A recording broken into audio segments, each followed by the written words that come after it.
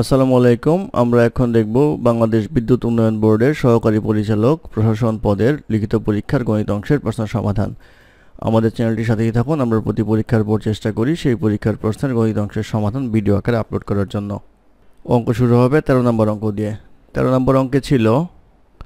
if nine to the power N into three square into three to the power inverse N inverse one minus twenty seven to the power N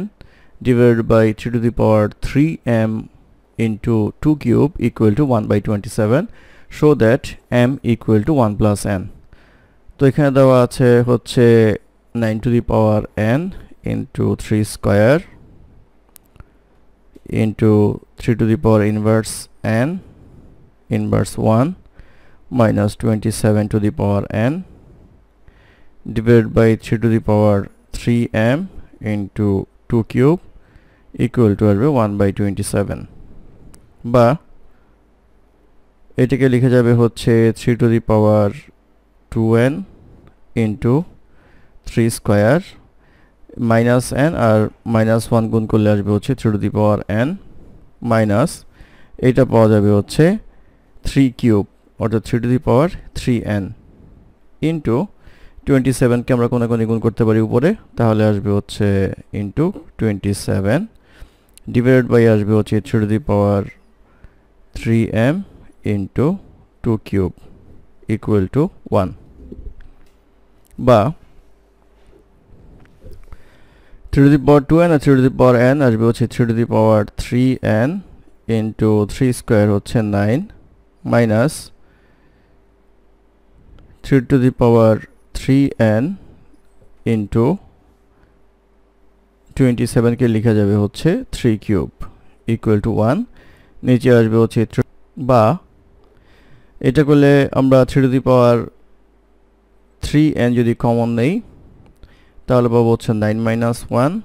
into আসবে হচ্ছে three cube নিচে আসবে হচ্ছে three to the power three M into eight equal to one বা এটা করলে পাওয়া যাবে হচ্ছে three to the power three N into eight into three cube three to the power three M into eight equal to one বা এখন আমরা যেটা করতে পারি সেটা হচ্ছে এই এইট আর এইট কাটাকাটি যাবে এইটা আর এইটাকে আমরা একসাথে লিখতে পারব হচ্ছে three to the power three N plus three divide by হচ্ছে three to the power three M equal to one বা three to the power three N plus three equal to three to the power three M যেহেতু base base সমান power power সমান three to the power N plus sorry এটা three three equal to three to the power M বা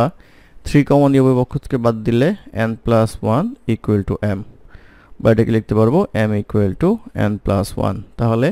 M equal to N plus one দেখানো হলো, এটি হবে প্রশ্নের উত্তর। তারপর প্রশ্ন নাম্বার ফোরটিন নাম্বার ফোরটিনে বলা আছে a businessman agrees to pay a ডেপ্ট of taka twenty thousand with ten percent compound interest after how many years he will pay total amount of taka fifty one thousand eight hundred seventy four point eight five including interest অর্থাৎ বলা হচ্ছে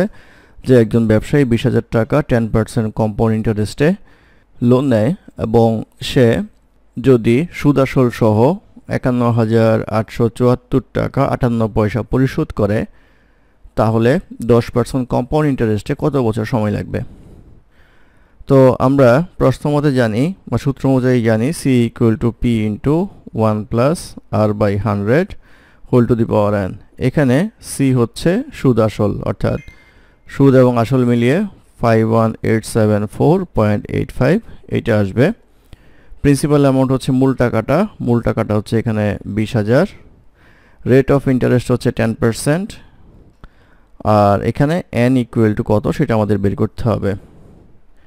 তাহলে এখানে পাবো হচ্ছে five one eight seven four point eight five equal to আসবে হচ্ছে twenty thousand one plus one by ten whole to the power N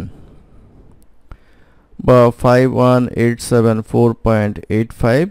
divided by আসবে হচ্ছে টোয়েন্টি থাউজেন্ড ভাগ করে আনলে equal to eleven by ten whole to the power N বা এটা করলে পাওয়া যাবে হচ্ছে eleven by ten whole to the power ten equal to eleven by ten whole to the power N যেহেতু বেস বেস সমান পাওয়ার পাওয়ার সমান, অতএব আমরা বলতে পারব হচ্ছে এন ইকুয়াল টু টেন অর্থাৎ দশ বছর সময় লাগবে একান্ন হাজার আটশো চুয়াত্তর টাকা পঁচাশি পয়সা হতে এই দশ বছর হবে হচ্ছে এই প্রশ্নের উত্তর। তারপরে প্রশ্ন নাম্বার ফিফটিন নাম্বার ফিফটিনে বলা আছে the sum of the area of two square is four eighty one square metre the area of a rectangle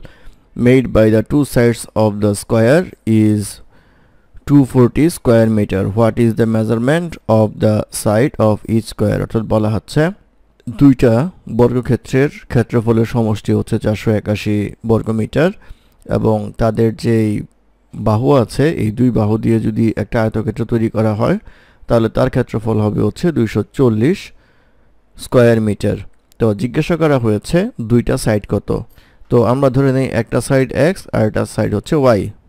তাহলে প্রথম শর্ত অনুযায়ী আমরা যেটা বলতে পারব হচ্ছে এক্সের উপর বর্গ অর্থাৎ এক্স স্কোয়ার এবং ওয়াই এর উপর বর্গ ওয়াই স্কোয়ার যোগ করলে আসবে হচ্ছে আমাদের চারশো একাশি। আর দ্বিতীয় ক্ষেত্রে যদি দুই বাহু দিয়ে আয়তক্ষেত্র আঁকা হয়, তাহলে ক্ষেত্রফল হবে হচ্ছে এক্স ওয়াই, এইটা আসবে হচ্ছে দুইশো চল্লিশ। এখন আমাদের এখান থেকে এক্স ওয়াইয়ের মান বের করতে হবে তাহলে এই অঙ্কটা সমাধান সম্পন্ন হবে।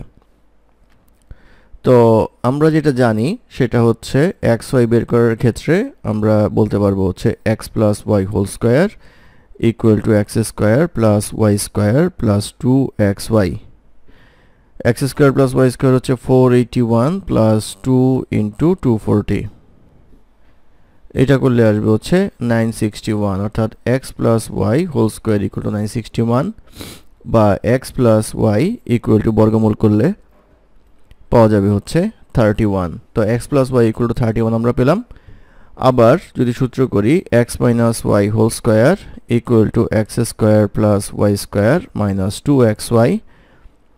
X square plus ওয়াই স্কোয়ারের মান যদি আমরা বসাই, তাহলে পাবো হচ্ছে four eighty one minus two into two forty এটা করলে পাওয়া যাবে four eighty one minus four eighty equal to আসবে হচ্ছে ওয়ান অর্থাৎ X minus Y whole square equal to one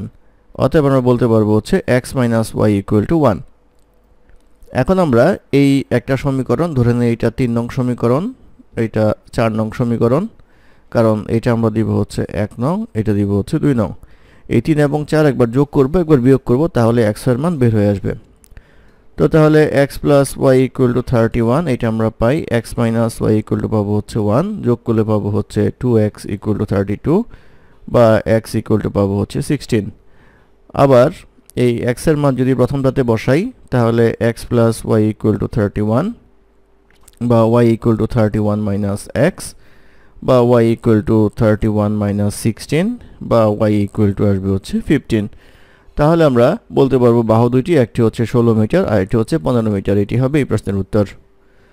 আর আপনি চাইলে এটা আবার বিয়োগ করে, দুইটা সমীকরণ বিয়োগ করে ওয়ার মান বের করতে পারেন। তাহলে ষোলো মিটার এবং পনেরো মিটার হবে হচ্ছে দুইটা সাইডের মেজারমেন্ট এটি হবে এই প্রশ্নের উত্তর। ধন্যবাদ আমাদের সাথে থাকার জন্য। আমাদের চ্যানেলটি ভালো লাগলে অবশ্যই সাবস্ক্রাইব করবেন, লাইক কমেন্ট এবং শেয়ার করবেন। আমাকে কোনো সমস্যা থাকলে আমাদের কমেন্টে জানাবেন। আমরা চেষ্টা করব কমেন্টে রিপ্লাই দেওয়ার জন্য। ধন্যবাদ।